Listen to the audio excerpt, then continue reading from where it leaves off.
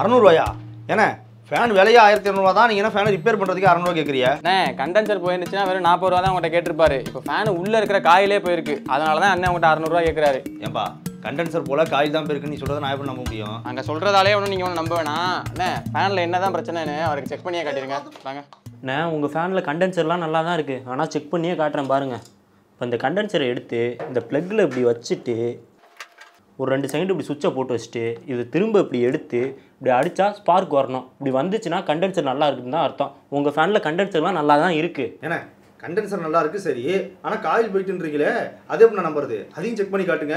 அண்ணன் ஃபேனில் காயில் நல்லா இருக்கா அப்படின்றத கண்டுபிடிக்கிறதுக்கு ரெண்டு மெத்தட் இருக்குது ஒன்று டெஸ்ட்லாம்னு ஒரு மெத்தட் இருக்குது அப்படி இல்லாட்டி மல்டிமீட்டரை வச்சு கண்டுபிடிக்கலாம். ஏன்ட்டு இப்போ மல்டிமீட்டர் தான் இருக்குது அதனால் இதை வச்சு சொல்கிறேன் இந்த மல்டிமீட்டரில் ரெசிஸ்டன்ஸ் மூடு அப்படின்னு ஒன்று இருக்கும். இதுக்கு வச்சுட்டு இதில் உள்ள இந்த ரெண்டு டெர்மினலையும் இந்த ஃபேனில் உள்ள கெப்பாசிட்டர் இருக்கும் இல்லையா அது கனெக்ட் ஆகிருக்க அந்த ரெண்டு ஒயரோட வச்சோம்னா இதில் நான் ஏதாவது நம்பர் காட்டணும். காட்டுதான்னு பாருங்கள் ஒன்றுமே காட்டலையேண்ணே அப்போ காயில் உள்ளே எங்கேயாவது விட்டு போயிருக்கவோ இல்லை மொத்த காயிலும் டேமேஜ் ஆயிருக்கவோ வாய்ப்பு இருக்குது அப்படி இல்லாட்டி உள்ள இன்சுலேட்டர் ஷீட் அப்படின்னு ஒன்று இருக்கும்.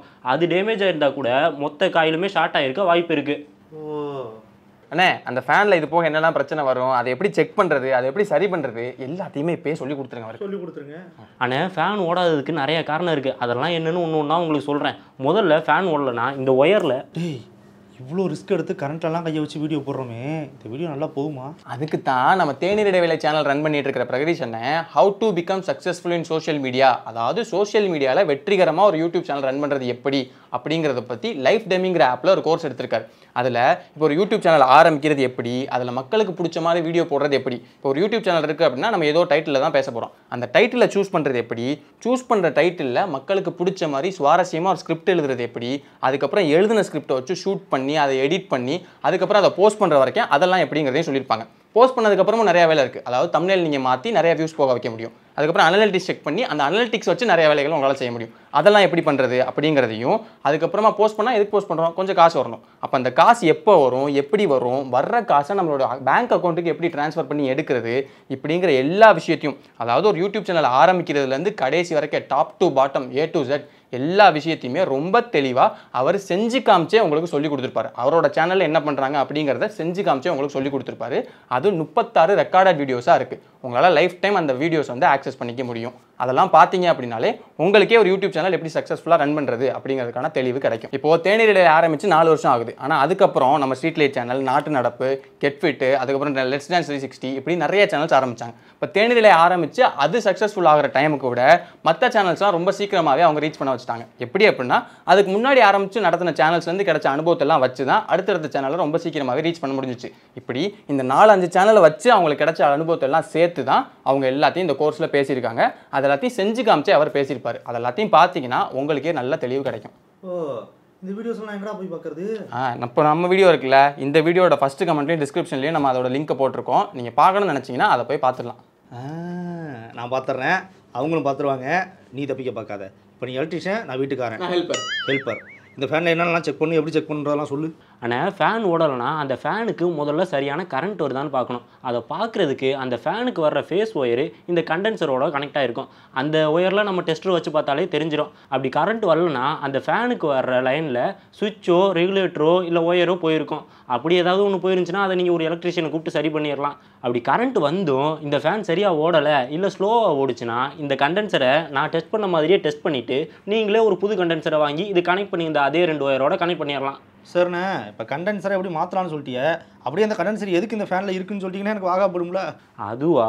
இந்த கண்டென்சரை கெப்பாசிட்டர்னு கூட சொல்லுவோம். இந்த கெப்பாசிட்டர் ஏன் ஃபேனில் இருக்குது அப்படின்றத தெரிஞ்சுக்கணும்னா ஃபேன் எப்படி ஓடும் அப்படின்றது தெரியணும். இந்த ஃபேனுக்குள்ளே ரோட்டார் அப்படின்ற இரும்பு வளையம் ஒன்று இருக்கும். அது சுற்றுறதுனால தான் இந்த ஃபேன் சுற்றுது அதை சுத்த வைக்கிறதுக்கு அந்த ரோட்டாருக்கு நடுவுலையே ஸ்டேட்டார் அப்படின்ற இன்னொன்று ஒன்று இருக்கும். அதில் இந்த மாதிரி நிறைய காயில் இன்சுலேட்டட் காப்பர் அப்படின்ற ஒன்றால் சுற்றி இருப்பாங்க. இந்த காயில் எல்லாத்துக்கும் பேர் தான் மெயின் வைண்டிங் அப்படின்னு சொல்லுவோம். இந்த மெயின் வைண்டிங்கில் நம்ம கரண்ட்டை கொடுக்கும்போது அங்கே ஒரு மேக்னெட்டிக் ஃபீல்டு ஒன்று உருவாகும். அது எப்படி அப்படின்றத இந்த ஆணியை வச்சு சொல்கிறேன் வாங்க. இப்போ இதே மாதிரி உள்ள ஒரு ஆணியில் நான் இந்த ஃபேனில் இருந்துச்சுன்னு சொன்னேன் இல்லையா? இன்சுலேட்டட் காப்பர் அதே இதை இந்த மாதிரி சுற்றி அதை ஒரு பேட்டரியோட கனெக்ஷன் கொடுத்து வச்சுருக்கேன். இப்போது இந்த ஆணிக்கு நான் கரண்ட் கொடுத்துருக்கிறதுனால இதில் ஒரு காந்தத்தன்மை ஒன்றும் உருவாகும். இதை தான் நம்ம எலக்ட்ரோ மேக்னெட் அப்படின்னு சொல்கிறோம் இதை இப்போ இந்த எலக்ட்ரோ மேக்னெட்டை இப்போ இந்த குண்டூசியில் நான் வச்சேன் அப்படின்னா அது ஒட்டும். வேணா நீ வேணா நீங்களே வச்சு பாருங்களேன். எதுவும் கரண்டு ஆஹா, அதெல்லாம்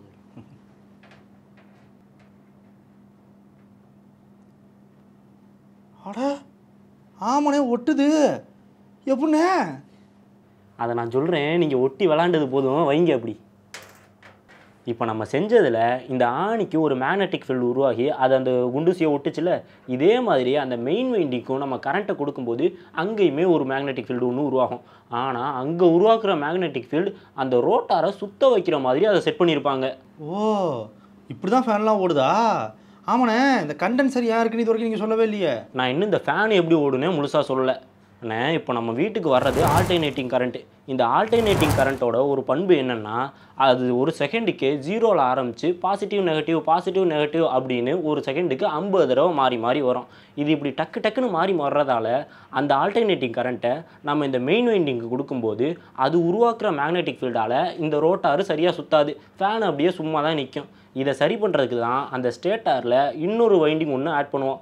அதுக்கு பேர் ஆக்சிலரி வைண்டிங் இந்த ஆக்சிலரி வெண்டிங்க்கும் இந்த மெயின் வெண்டிங்க்கு போகிற அதே ஏசி கரண்ட்டை கொடுத்தோம்னா அப்போவும் இந்த ரோட்டாரால் சரியாக சுத்த முடியாது அப்படின்றதுனால அதுக்கு போகிற கரண்ட்டை மட்டும் எடுத்த உடனே ஜீரோவில் ஆரம்பிக்காமல் பாசிட்டிவில் ஆரம்பிக்கிற மாதிரி தோ இந்த கெப்பாசிட்டரை வச்சு மாற்றி கொடுப்போம். அதுக்கு தான் இந்த கெப்பாசிட்டர் தேவை. இப்போது இந்த ரெண்டு வைண்டிங்கும் சேர்ந்து உருவாக்குற மேக்னெட்டிக் ஃபீல்டால தான் இந்த ரோட்டார் சுற்றுது அதனால தான் இந்த ஃபேனுமே சுற்றுது ஓ. இதில் இதுக்கு மேலேயும் உள்ள நிறைய விஷயம் நடக்கும். ஆனால் அதெல்லாம் சொன்னால் இன்னும் ரொம்ப டெக்னிக்கலாக போகும். கெப்பாசிட்டர் ஏன் ஃபேனில் இருக்குது அப்படின்றத தெரிஞ்சுக்கிறதுக்கு இதை தெரிஞ்சுக்கிட்டாலே போதும். இப்போ நான் சொன்னது உங்களுக்கு புரிஞ்சுல? புரிஞ்சுண்ணே அது போதும். சரிண்ணே இந்த ஃபேன் ஓடும்போது அப்பப்போ கிரிச்சு கிரிச்சு சத்தம் வருது அது ஏன்? அதுவா? இந்த ஃபேனில் உள்ள ஸ்டேட்டார் சுத்தாமல் அந்த ரோட்டார் மட்டும் சுற்றுறதுக்காக மேலே ஒன்று கீழே ஒன்று அப்படின்னு ரெண்டு பேரிங் வச்சுருப்பாங்க. அதில் ஏதாவது ஒன்று போயிருக்கும். அதனால தான் சவுண்டு வந்திருக்கும். ஓ. அவ்வளோதானா இல்லை வேறு ஏதாவது பிரச்சனை வருமா? ஏதாவது சொல்லாத விட்டீங்களா அவ்வளோதானே நான் சொன்னது தான் ஃபேனுக்கு முதல்ல சரியான கரண்ட் வருதான்னு பார்க்கணும். அப்படி அது கரண்ட் வரலன்னா ஃபேனுக்கு முன்னாடி உள்ள ரெகுலேட்டர் சுவிட்ச் இந்த மாதிரி ஏதாவது ஒன்று போயிருக்கும். அப்படி கரண்ட் வந்தும் அது ஓடலைன்னா கெப்பாசிட்டரு காயில் இல்லாட்டி பேரிங்கு அந்த மாதிரி ஏதாவது ஒன்று போயிருக்கும். சரி இப்போ உங்களுக்கு காயில் தானே போயிருக்கு. அந்த காயில திரும்ப கட்டணும். அறநூறுவா காசு கொடுங்க. காசா? அது எங்கே இங்கே இருக்கு? சம்பளம் வந்தாலும் வாங்கிக்கலானே. அப்போ சம்பளம் வர வரைக்கும் வேர்வையிலே கிடங்க. அதே மாதிரி நம்ம கவர்மெண்ட் போன மாதம் ஒரு அறிவிப்பு வெளியிட்டிருந்தாங்க. அதில் அவங்க என்ன சொல்லியிருந்தாங்கன்னா ஆர்சிடி அப்படின்ற டிவைஸ் உங்கள் வீட்டில் இல்லைன்னா உங்கள் வீட்டுக்கு கரண்ட் கனெக்ஷனே தரமாட்டோம் அப்படின்னு சொல்லியிருந்தாங்க. அப்படி அந்த ஆர்சிடி என்ன தான் பண்ணும் கரண்ட் கனெக்ஷனே தரமாட்டோம் அப்படின்னு சொல்கிற அளவுக்கு அந்த ஆர்சிடியோட வேலை என்ன?